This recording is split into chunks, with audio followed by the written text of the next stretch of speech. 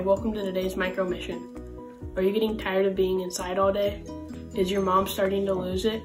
We're all getting a little antsy. We're actually lucky to be staying at home because millions of people are risking their lives doing jobs to keep us safe. My brother still has to go to work in a grocery store. My dad is a maintenance engineer on a college campus. My, my godmother is a home health care nurse.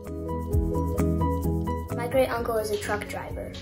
Let's find a way to say thank you. Chances are you might have some boxes around the house.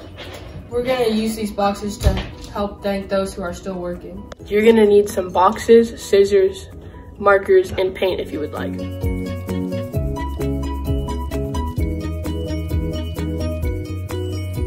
Older kids, you can help by cutting open the box to spread it apart.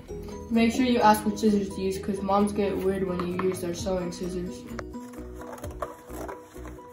Younger kids make signs that name the workers. A heart shows that you care. My mom already had this, but you can make one out of anything. We're gonna flip it over and paint thank you on the back.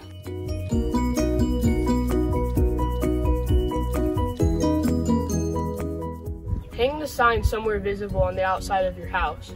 Remember, we're all in this together.